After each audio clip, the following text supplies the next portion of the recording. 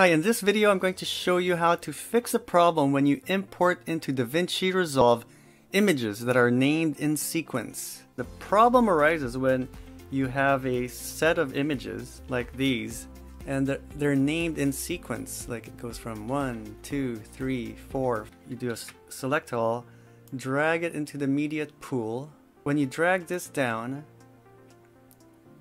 it's just this tiny little clip and I play it it goes really fast. What's happening here is DaVinci Resolve thinks this is a sequence of images that are meant to be like a stop motion video clip. It puts it all together and it fits 29 of those images into one second. How do we fix that? Let's go into our media tab. I browse to that folder that contains those images in sequence.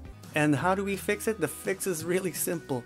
You go here to the three dots click it and show individual frames. Okay, now you can see each one of them. Then you do a control A, drag it down into your media pool, then go over to your edit page, and there they are, all nicely separated. Okay, so that's the way to fix the problem.